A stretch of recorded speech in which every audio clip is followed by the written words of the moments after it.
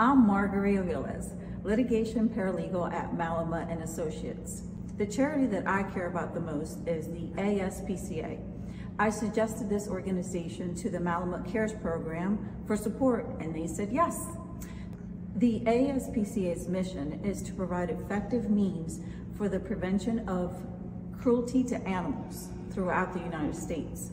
The organization was founded on the belief that animals are entitled to kind and respectful treatment at the hands of humans and must be protected under the law. We set up a Facebook fundraiser for the ASPCA and our Malamut Cares program will generally match donations throughout December 30th. It's a great incentive to give and double your donation.